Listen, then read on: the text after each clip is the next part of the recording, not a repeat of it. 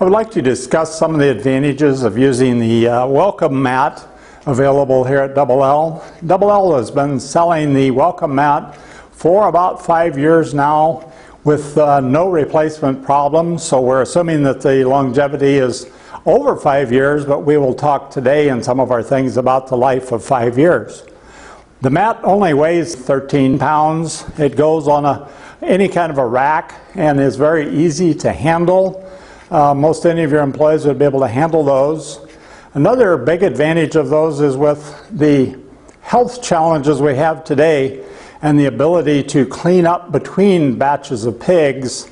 And this being a hard plastic, it cleans and disinfects and probably stops almost all viruses.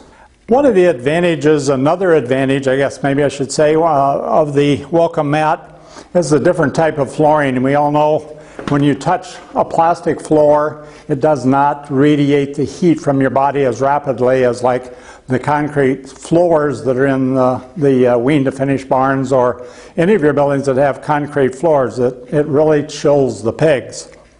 Which brings me to another point here. The, the pink box was two boxes that uh, Double L made up and maintained the pig temperature for 17 hours on the different floorings, one on plastic and one on concrete. At the end of that 17 hour test, there was a 36% increase in the consumption of power to heat the box at pig temperature over that period of time. So a significant savings and shows how much heat loss the pig has, which will make him less uh, apt to go eat and drink. With the pig being warmer on the welcome mat, he is more apt to consume feed, hopefully the first day he's in the pen. And the quicker we can get the pigs eating and drinking, the faster that they're going to start growing. When you have a cold pig, you're going to increase mortality as well as morbidity. The return on investment of the welcome mat with the feed being six to eight hundred dollars a ton on this first stage feed, takes like 1.2 pounds per mat, which is 50 pigs, savings over each turn based on five years at two turns per year.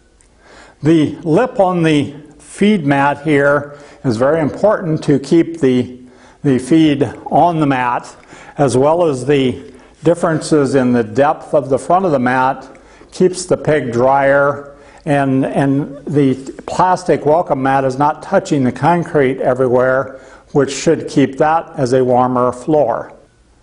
Just to recap some numbers and look at it from a return on investment standpoint, the feed savings, as I said earlier, is 1.2 pounds per mat per turn, and the livability is one pig across the entire 10 turns of five years, or one tenth of a pig per, per turn. And each day that the pig does not eat and consume feed and water is adding three days to market. And we all know what those costs are.